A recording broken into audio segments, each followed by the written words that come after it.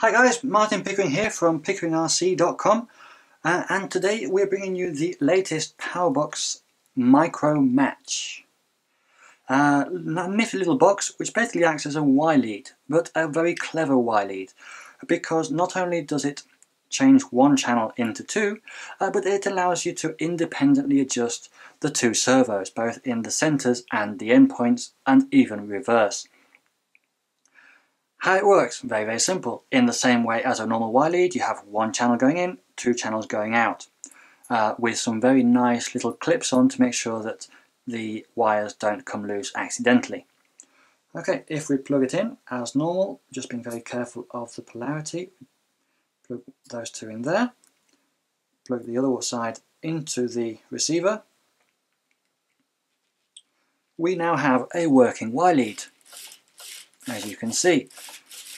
Now to adjust those two servos we can do that either via Bluetooth with the Powerbox Bluecom adapter or by USB uh, through a computer. We're going to be doing it through the Bluecom.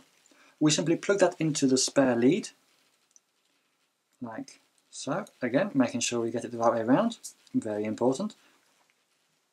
We turn on our tablet and open the app Mobile Terminal, which is available both for Android and Apple.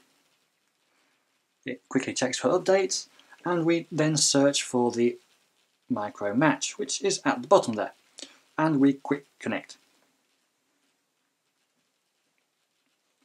First screen is for the frame rate, which we're normally never going to use, so just leave that as it is, and go into servo matching.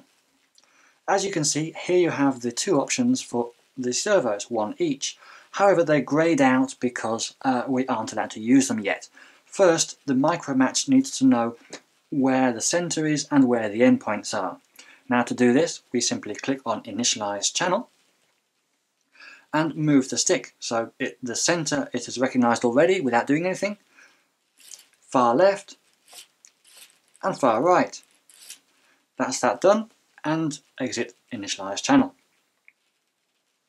As you can see now, both servo options have become available, and if we wanted to reverse one of the servos, we can do so simply by swiping those little buttons. So at the moment they're both going in that direction, in basically the same direction as far as rotation is concerned.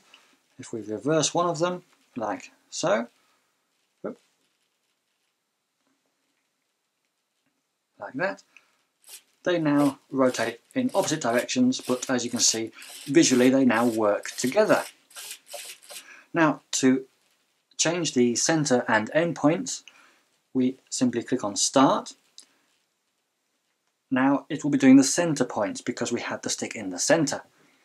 The stick no longer works anymore, and we simply adjust the end points, oh, sorry, the center points by moving the little green dots on screen. Once we're happy with their positions, we click Start again. It saves those positions in the center, and it gives us back control of the servos. To do the endpoint, we do exactly the same. This time, however, we hold it to the endpoint that we want to adjust. Click on Start. It takes over control from us because it knows we want to do the endpoint. And again, simply move the little green dots as required to get to the endpoints that we desire. Once we're happy with that, click on Start again. It gives us back control, but as you can see with those now adjusted endpoints. We would do the exact same thing again for the right hand side. Hold it to the right, click Start, adjust it, click Start again, and then we're good to go. Does it need saving? No. Simply unplug the power and put it back into your model and uh, happy flying. We hope that you enjoyed this video, you found it uh, helpful. Uh, make sure to subscribe to our channel to keep updated with all the latest videos and news. Uh, and thank you very much for watching.